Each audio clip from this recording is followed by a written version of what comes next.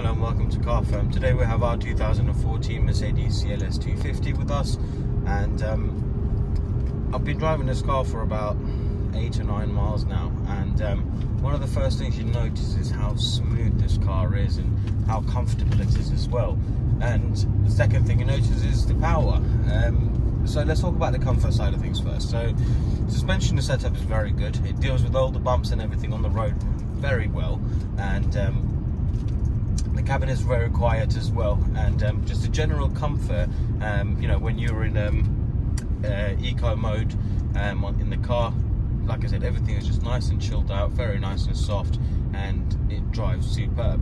Now when you switch things over to sport mode um, the gearbox kicks down the steering wheel gets heavier and throttle response is a lot sharper and that results in the performance being a lot better.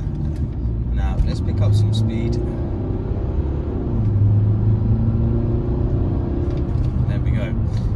60 mile an hour already. And I'll be totally honest with you, the difference between this and the CLS 350 in terms of actually what it feels like when you're driving is very, very little. And you know, the 350, yes, it is more powerful. However, this still has plenty of power. Um, at no point I've been driving this car, I thought to myself, I wish it had more power or I wish this was a 350 because the way it is is just absolutely spot on. You've got the full comfort of the CLS and you've got the great performance of that 3 litre engine as well. Now, steering wheel's nice and direct in this car as well. There's no tracking or balancing issues whatsoever, and it's just nice and straight, plenty of feedback, and you know the direction is actually very quite good as well. You don't have to turn it too much for it to change direction, and there's no steering wheel play on this either. Now, the other thing is the brakes. Um, it has very strong brakes, and there's no shaking or juddering from the brakes at all. Um, also, I've noticed you don't have to press them so hard um, because they are actually really quite strong and they bring you to a very, very quick stop. So that's from 50 mile an hour without even doing an emergency brake.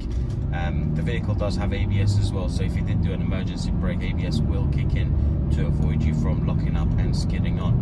Um, but your day-to-day -day basis driving, you know, this will do the job absolutely fine. Now, you've also got the manual mode as well and with the manual mode obviously you've got flappy paddles you can change gears yourself and the gearbox works so well because that goes part of the comfort and the smoothness of the car because the gearbox works so well that you barely notice the gear changes unless you're in sport mode and the gears gear changes are a bit more aggressive and you, you feel it more yes um, however when you're in eco mode or you're in manual mode um, it is all very, very smooth. And especially between the gear changes because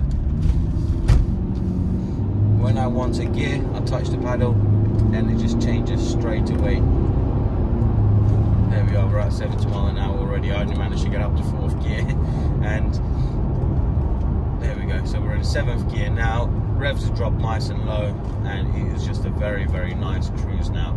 So overall, this car drives really well from the engine, steering, gearbox, suspension, um, everything works the way it should and is absolutely spot on. If you're interested in this car, head over to our website, carfirm.co.uk, reserve it with a fully refundable £100 and we'll for you for seven days.